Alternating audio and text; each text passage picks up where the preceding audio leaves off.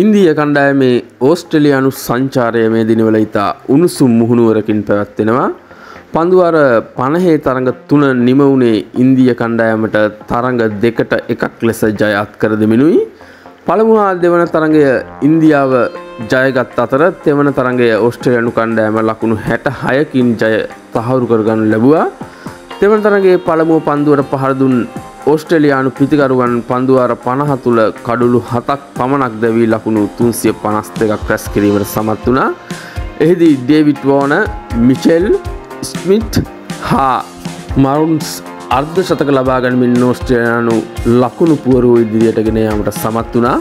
පන්දුයවීමේදී බුම්බ්‍රා කඩලු තුනක් යාදෙව් කඩලු දෙකක් හා ශ්‍රීරාජ් හා ක්‍රිෂාන් එක් කඩුල්ල බැගින් බිදහෙලීමට සමත් වුණා.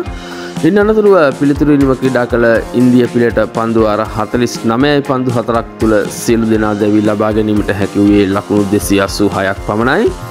රෝහිත් ශර්මා ලකුණු අස්සුව එකක් හා කෝලි ලකුණු පනස්සයක් රැස් කළ අතර පන්දු යැවිමේදී මැක්ස්වෙල් කඩලු හතරක් ලබා ගනිමින් ඉහළ දක්ෂතා පෙන්නුම් කරා මෙම සංචාරයේ 2020 තරග පහක් පැවැත්වීමට නියමිත අතර එම තරගල්ලෝක කුසලායනෙන් පසුව නොවැම්බර් මස විසි හත්වන දින සිට ආරම්භවීමට නියමිතයි. ඉතින් ටිකට් පිටේ අලුත්තරුතුරු සමග අපි වලත් එක්ක නැවත හමුවීමට සූදානම් සුබ දවසක් වල හැමෝටම